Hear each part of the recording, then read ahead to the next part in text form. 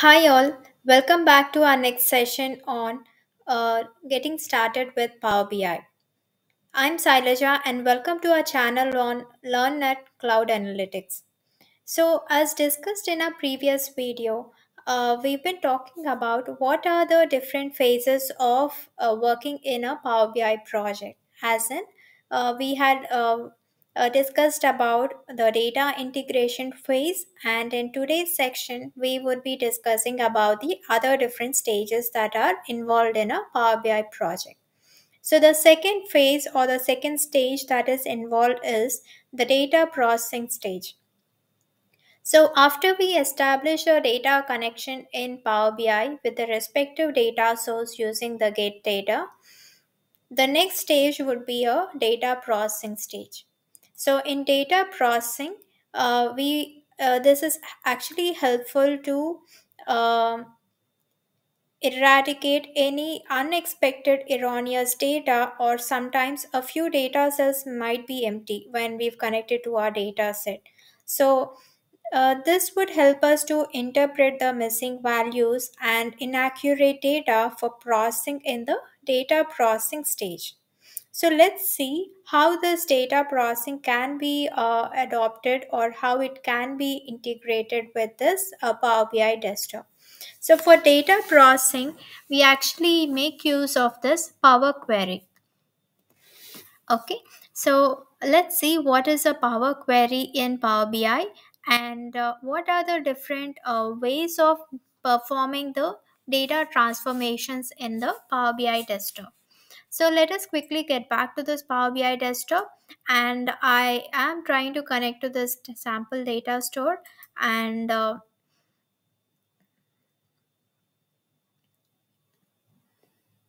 So while the navigator fetches the relevant tables listed within that selected database, uh, let's see uh, what are the different tables. So I would select the people table and the returns as well. Um, yeah, and uh, let's see this. Okay. So we have a regional manager and the region Okay, so uh, let's have this, and uh, I would then connect. Now there is an option which says load transform data and cancel. So now we will have to select this transform data in order to perform the ETL operations in Power BI. So in Power BI, uh, there is an inbuilt ETL tool which is called as a Power Query Editor. So this is the UI interface in which we would be allowed to make all the data transformations that is necessary for a connected data. So within this Power Query editor, there are different types of transformations that is allowed for us to perform on the connected raw data. So let's see quickly what are the different options that are available and do some analysis on top of that. So on this section where we see the uh, different uh, options, uh, we are allowed to perform like uh, some uh, removal of unwanted columns or uh, keeping some columns that is needed and uh, we can actually uh, perform some uh, split of the existing column by a separator or we can do some group by operations on the existing data or you can also change the column data type as well. So if you select any specific column that would show you the current uh, data type as uh, listed by the original data source. And if you think that the data type is not relevant for your respective column then it would allow you to make the desired selection for the data type category. Okay?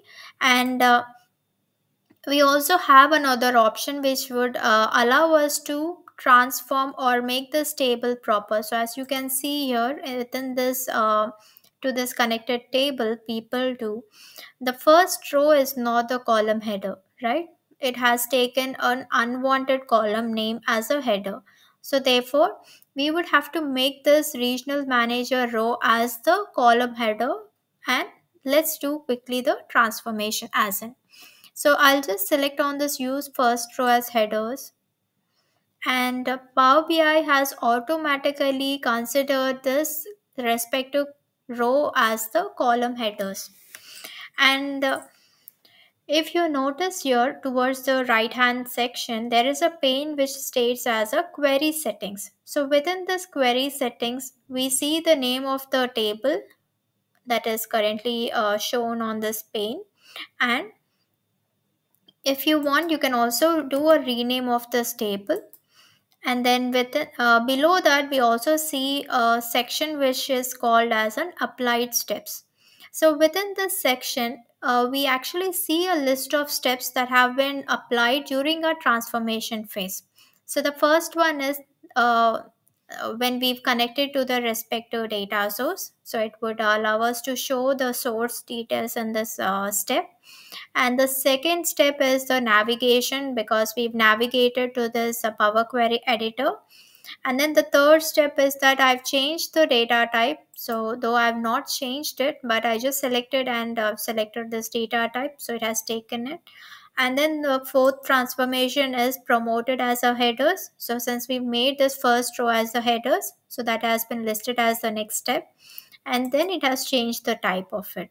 Okay? So at any point of time if you wanted to see what transformation have been performed on that respective uh, data you can always look through these steps to understand what have been performed on the connected table or the data and uh, so uh, let let me just quickly remove the step because that was not relevant so what I would do is like I'll just remove these steps as well. So I'll just tell you why.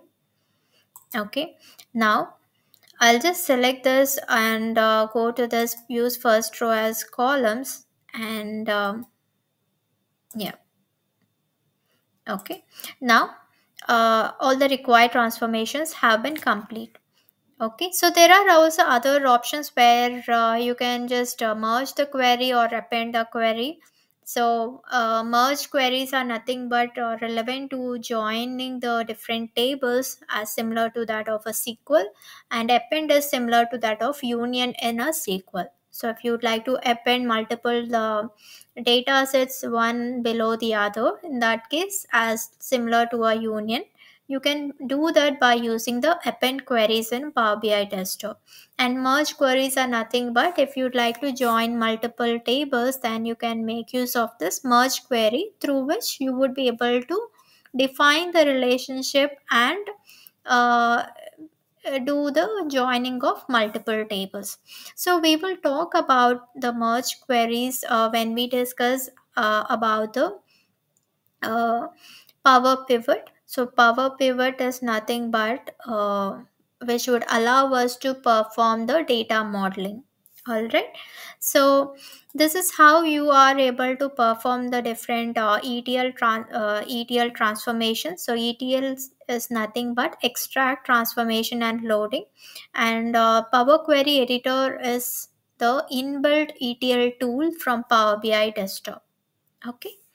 So uh, let's uh, understand or uh, let's have a quick recap on what we've discussed today. So, as a recap, uh, we've discussed about the next stage of working with a Power BI desktop uh, project. The second phase being the uh, data modeling or the data transformation. So, within this data transformation phase, we make use of the Power Query editor which would allow us to perform all the ETL transaction on the given data. So as part of this transformation, usually we perform if there are any um, uh, um, any data type changes that we might need to perform on the respective columns or probably if there is any need to remove unwanted columns or if we have to split the respective column or uh, in order to um, have the first row as a header or uh, do some uh, additional uh, transformations like probably uh, sorting or uh, connecting to different data sources and uh, using the merge query and append query. So there are many options that have been listed here. So you can just go through each of them and we'll see one by one when we are going through the data transformation topic in detail okay. So this is about this topic in this session and uh, talk to you again. Thank you